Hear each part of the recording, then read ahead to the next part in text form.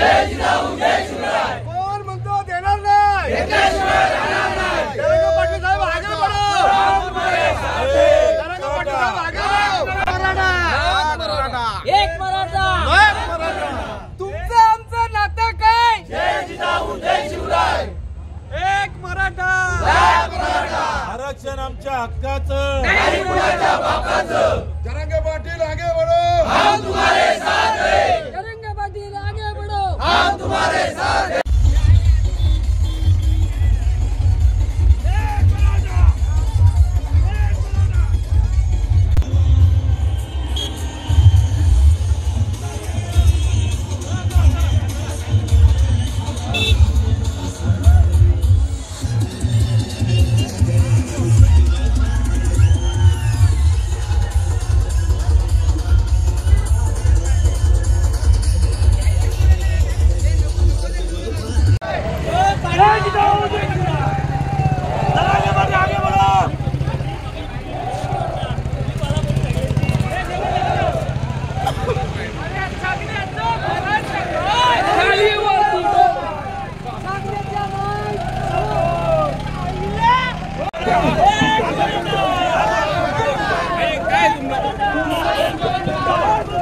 Traffic झाली तर कमी लपड होईल का?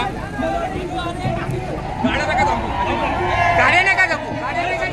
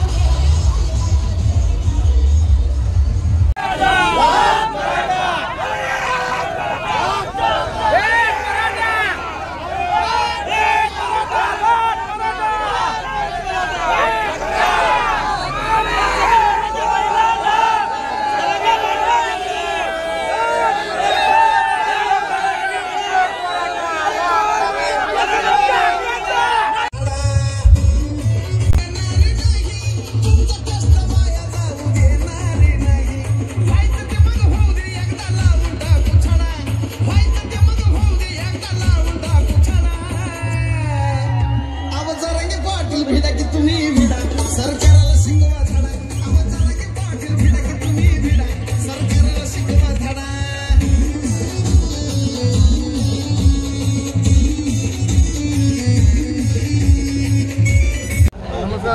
श्री जय शिवराय जय शंभूराजे. आज या खालापूर तालुक्यात खालापूर आणि खतर तालुक्यातून चौक हवेवर आम्ही सर्व जरांगे पाटील साहेबांच्या स्वागतासाठी इथे उप उपस्थित आहोत. आणि येणाऱ्या सर्व मराठा समाजाला पोळी भाकरी पाणी वगैरेची व्यवस्था करत आम्ही केलेलं आहे. या आरक्षणाच्या संदर्भामध्ये जरांगे पाटील साहेबांनी जो प्रामाणिकपणे लढा पुकारलेला आहे या लढ्याला मला असं वाटतं नव्वद टक्के यश मिळालेलं आहे असं सम म्हणायला हरकत नाही. आणि आता ते ज- ज्यावेळेस आझाद मैदान उपोषण सुरू करतील त्यावेळेस सरकारला आरक्षण देणं आहे आणि देणार असा आम्हाला विश्वास विश्वास आहे. या अनुषंगाने सरकारचं जे वेलकाडूपणा धोरण आहे या धोरणचा खरोखर निषेध करावा तेवढा कमीच आहे. कारण मराठा समाजाचे हे आमचे नेते जे आज अ, संसारपणाला लावून जे आरक्षणासाठी लढत आहेत त्या त्या त्यांचा गांभीर्याने विचार करायला पाहिजे होता. आणि ही मुंबईला येण्यापर्यंत वेळ येऊ द्यायला नव्हती पाहिजे असं मी या सरकारला या निमित्ताने सांगू इच्छितो. आणि आता आम्ही या स्वागत झाल्याच्यानंतर आता जरांगे पाटील साहेब वाशीला जाणार वाशीनंतर आझादबाई जाणार. तर आम्ही कर्जत खालापूर आणि रायगडच्या सर्व म- मराठा समाजाने निश्चय केलेला आहे की जरांगे जरांगे पाटील जेव्हा उपोषणाला बसतील त्यावेळेस आम्ही सर्व त्यांच्याबरोबर उपोषणाला बसणार आहोत. असं आम्ही या अ, आरक्षणच्या साठी जाहीर करतो. मी मधुकर घारे कर्जत तालुक्यामध्ये मराठा समाजाचं काम करतो. अनेक वर्ष जो समाजाच्या आरक्षणाची लढा चालू आहे. त्या लढ्यासाठी आज मराठा समाजाला मोठं नेतृत्व भेटलेलं आहे.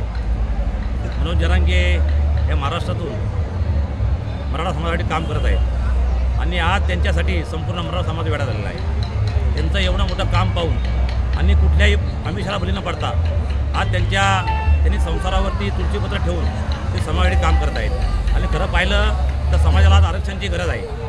आज समाज पूर्ण भूमिहीन झालेला आहे. आज स समाजाकडे जमीन उरलेली नाही. नोकरीचा प्रश्न आहे शिक्षणाचा प्रश्न आहे.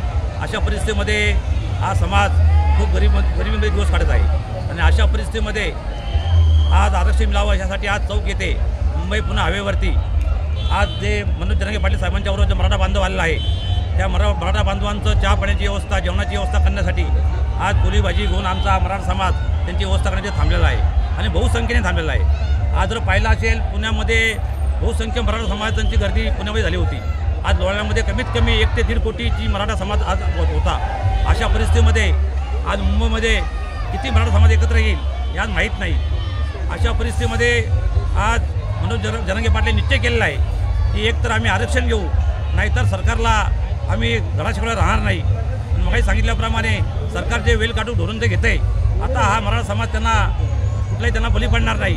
आणि मराठा आरक्षण मराठा समाज घेणार नाही घेणार अशा निश्चय मराठा उतरलेला आहे.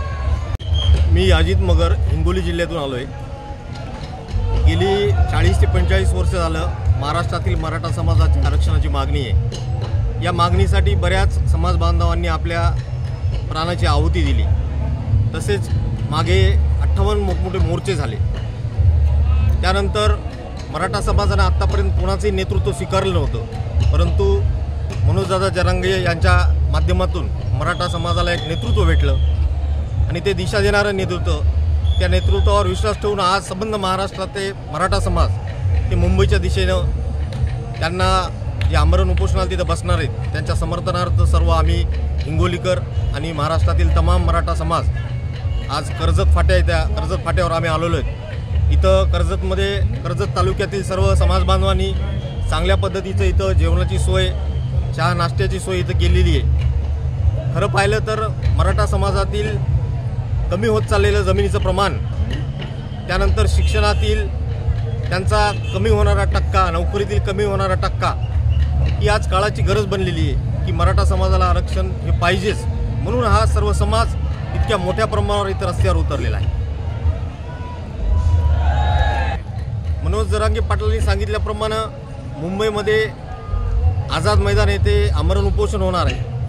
आणि त्यांना संबंध महाराष्ट्राला माहिती की त्यांनी सांगितलं की मी आरक्षण आर- आरक्षण घेतल्याशिवाय इथून जाणार नाही. त्यांच्या समर्थार्थ आम्ही पण मुंबईमध्ये बसून राहणार. ठामपणे त्यांच्या मागे उभं राहणार.